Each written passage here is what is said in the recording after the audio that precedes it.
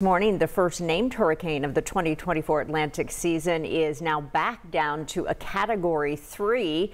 The status after reaching an extremely dangerous category four. Right now, Beryl is churning towards the Caribbean. It was the earliest category four hurricane on record in the Atlantic Ocean and the only category four storm recorded in the month of June. So right now, hurricane warnings are in effect for multi multiple Caribbean islands as residents there just prepare for a major storm impact. We're expecting a very dangerous, life-threatening storm surge of five to seven feet uh, above normal tide levels, uh, nearer to the right of where the center passes through those islands with large and destructive waves. Grenada's government has already declared a state of emergency in anticipation of the hurricane's arrival.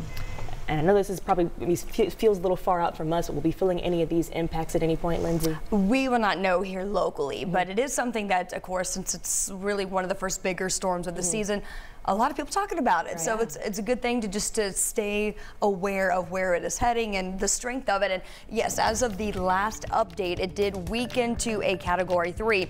So I did wanted to show you the still the path that this is projected to be on.